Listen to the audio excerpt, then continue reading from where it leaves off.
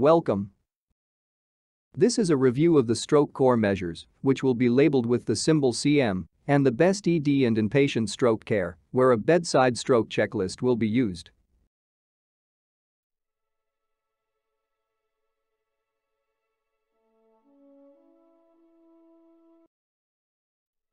Let's strike stroke right in between the core measures. Together we can do this. If any core stroke measure or step is not done, the best thing to do is to document that in writing, including the rationale for skipping whatever is not done. Yes. Document what is not done.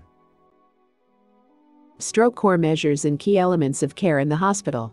All patients with stroke should be given VTE prophylaxis. Also, all patients with stroke should be initiated on antiplatelet therapy before the second midnight.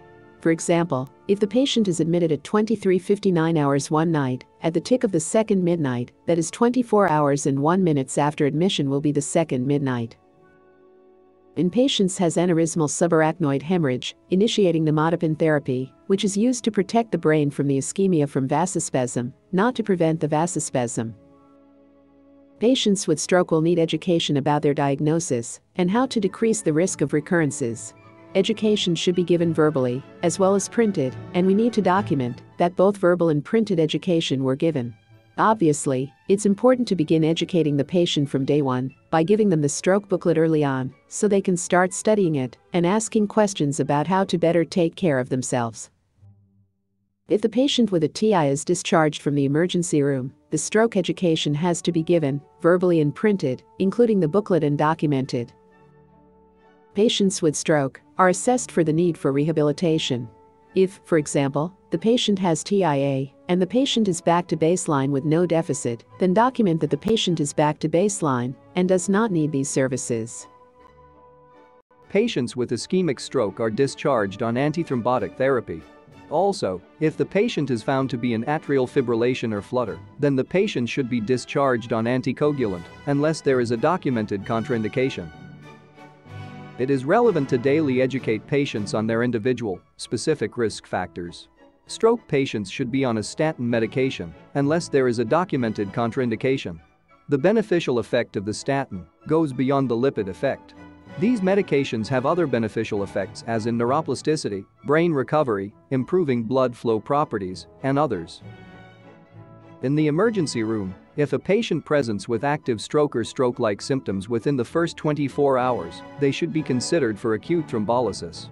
Critical information to help make this decision includes the time when the patient was last known to be in usual state of health, or LKUSH, when was the patient last known to be at baseline, which is not the same as when the patient was found with the deficit.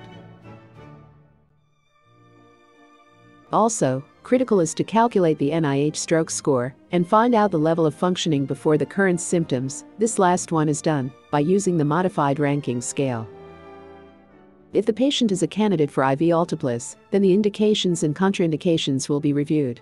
The goal is to administer IV alteplase in less than 40 minutes from the patient arriving. All patients with an NIH stroke score of 6 or greater, or with any disabling deficit, and arriving within the first 24 hours from LKUSH, should be considered for endovascular therapy.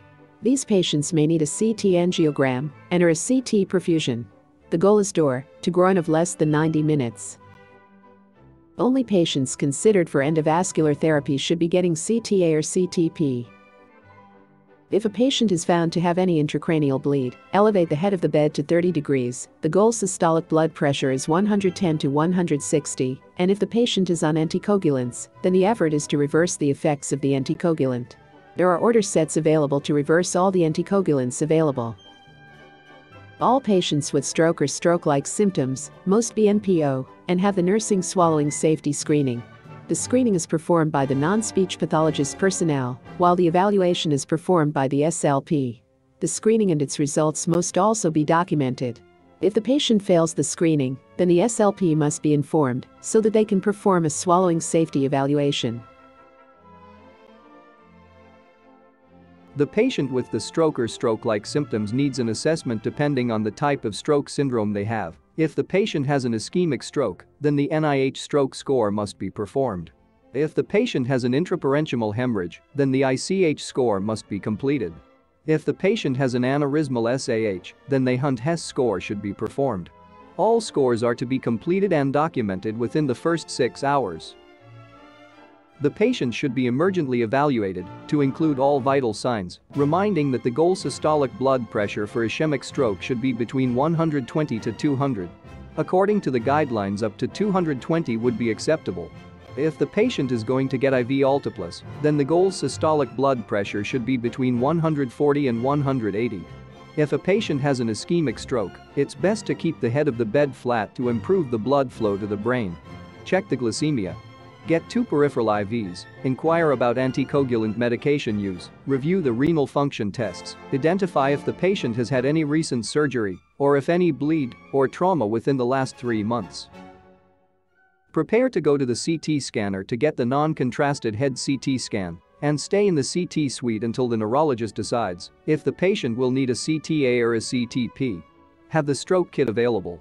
The moment to administer IV alteplase is between the CT scan and the CTA or CTP.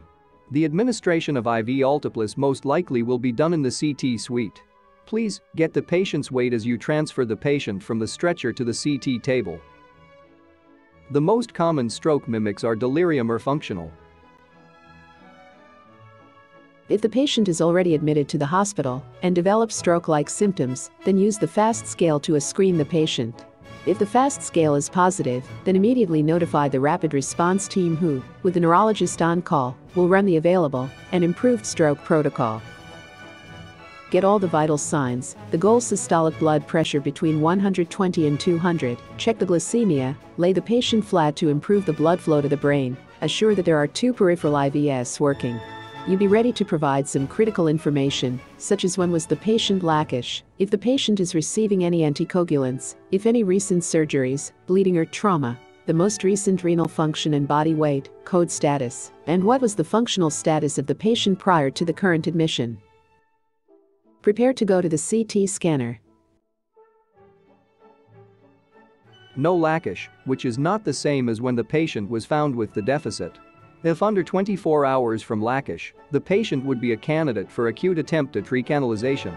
With IV alteplase in under 40 minutes and with endovascular therapy within the first 24 hours. Similarly, to the ED, if the patient is on anticoagulant and the patient has an intracranial bleed of the CT scan, then the anticoagulant effect should be reversed using the available order sets in Meditech.